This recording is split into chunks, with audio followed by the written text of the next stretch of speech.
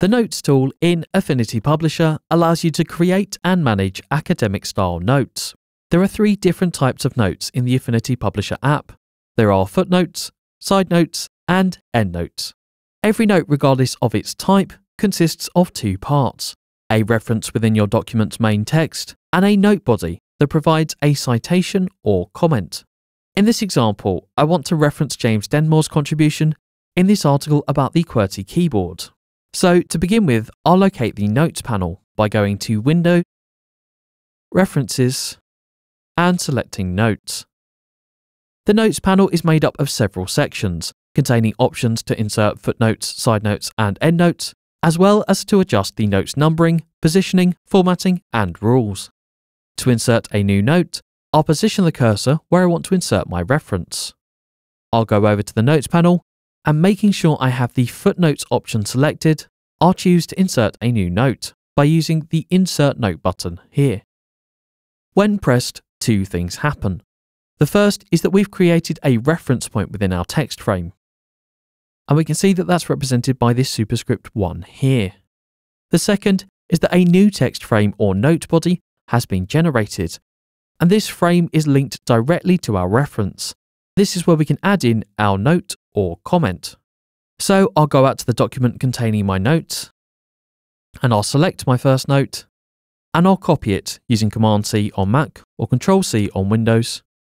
We'll go back to our publisher document, and I'll paste the note into the note body by using Command V on Mac or Control V on Windows. We could choose to edit the notes formatting manually using the text options on the context toolbar or we could choose to apply a note body text style. I'll choose to apply one that I prepared earlier. Next, we'll adjust the note's positioning. So I'll change the note's positioning drop-down from below text to below frame. And this will position the note body below our text frame. I'll then decrease the min gap before spacing slightly, so the note fits better underneath the text frame. Under Rules, we can also choose to adjust the line stroke style changing its colour and stroke width.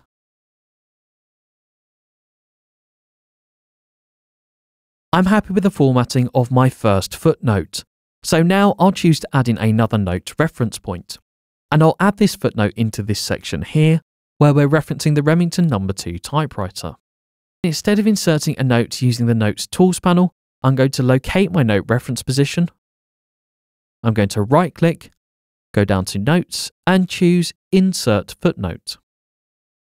Once again, we've added a new reference into our original text frame, and we can see that it's being represented here by this superscript number 2, as well as our additional note body, which is once again linked to the new reference. This time I'll adjust the positioning of the new note body to sit below this image of the typewriter. So I'll adjust my gap between and increase it to around 200 points. I'll once again go up to my document containing my references, copy my second footnote, and paste it into the new note body. I'll once again apply the footnote text style that I prepared earlier. In addition to footnotes, we can also insert side notes. If I go to this article below I'm looking to insert a side note into this article so I can once again reference this image. So I'll find the end of the sentence referencing the campus building. I'll right click, go to Notes, and choose to insert a side note. And this time I'll choose to change my numbering options, electing to change the reference numbering formatting to Roman numerals. I'll then adjust the position of the new notes body using the positioning settings on the Notes panel. We'll make sure that my note position is set to right of frame. We'll increase the frame's width to 100mm. And we'll change distance from to 55mm. This will position the new note text body underneath the corresponding image. So again, I'll go out to my reference document. I'll copy my side note. Go back to my publisher document and paste it into the waiting text frame. In addition to footnotes and side notes, we can also add in endnotes to the document. Endnotes still consist of two parts, a reference and a note body. However, unlike side notes or footnotes, the EndNotes note body appears separately on the last page of the document. When creating an EndNote, we can either select our position, right click, go to Notes and choose Insert EndNote, or again with our position selected and our EndNote option on the Notes panel selected, click the Insert Note button. When doing so, it will once again create a reference wherever my cursor was positioned, as well as generating a new page at the end of the document, where my EndNotes will now be collated. I can choose to reposition this EndNote text frame, and I can also choose to apply a master to this page. It's important when inserting, whether that's copy and pasting or typing, an EndNote into the EndNote note body that it's inserted in between the designated note marks. To make this easier, I'm going to make sure that my note marks are visible. So we'll go to Text, down to Notes, and make sure that Show Note Marks has been selected. Now activated, we can see where we need to insert our note. So I'll go ahead and go back to my reference document, copy my first EndNote,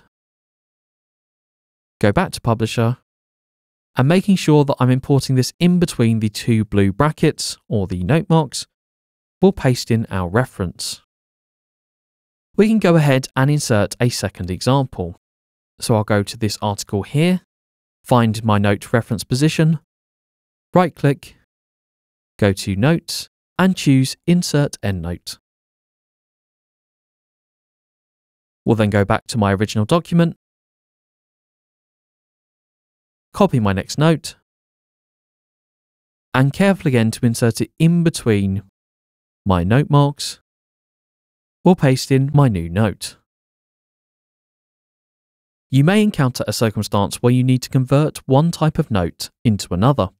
For instance, you may come to the end of a document and decide you want to convert all of your footnotes into endnotes. So to do this, we'll simply locate a note reference or note body. In this case, we'll go back to our original article and we'll select our first footnote reference. We'll right click, go to Notes and choose Convert Notes.